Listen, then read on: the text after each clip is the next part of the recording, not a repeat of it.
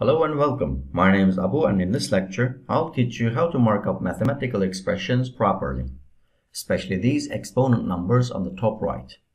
Normally this can be done easily using HTML's superscript element. For example, this is the HTML document I created for this lecture called example.html. On line 19, I have one simple mathematical expression and it includes several exponent numbers. Before we mark this up, let's try this up in the browser and see how they look.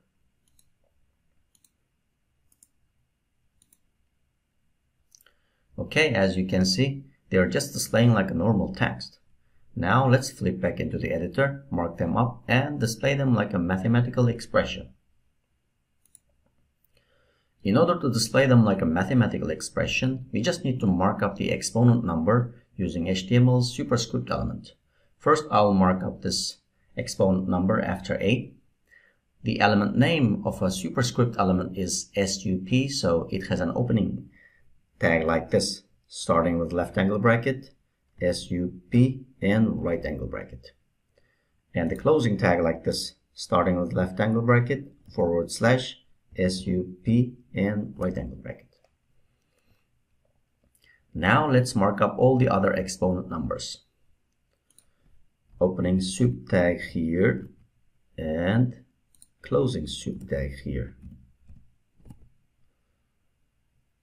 Opening sup tag here and closing sup tag here.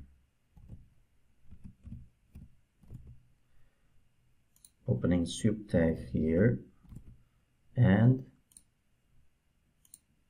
closing sup tag here.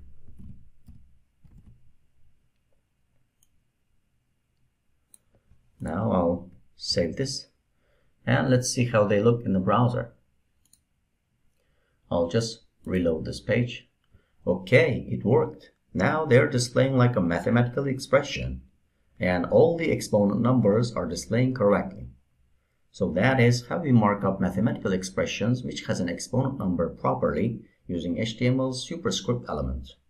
Thanks for watching and if you have any question, please let me know in the comments below.